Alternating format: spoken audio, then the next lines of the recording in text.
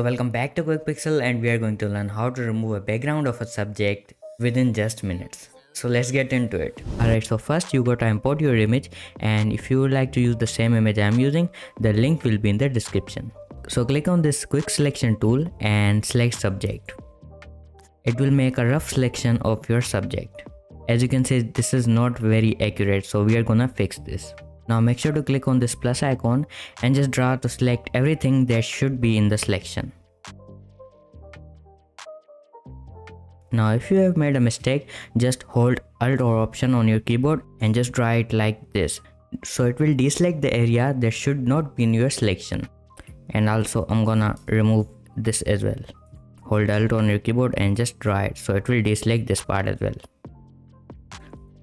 So once you have made a rough selection, go to select and hold shift on your keyboard and just click on this select and mask. Make sure to hold shift on your keyboard.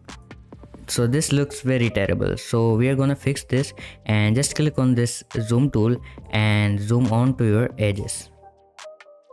Click on this refine edge tool and just start painting on the edges like that. It will remove everything that should not be in your selection. And it is going to normalize the selection as well. So if you have rough edges, this is going to fix it. As you can see the image is starting to get fixed.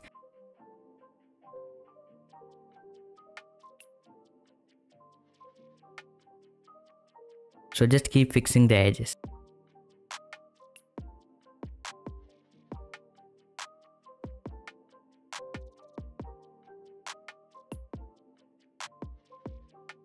So once you're done, just click on this OK. Now just zoom out and click on this layer mask icon. So that was it for the video. If you like to see more videos like this, make sure to subscribe and see you on the next one.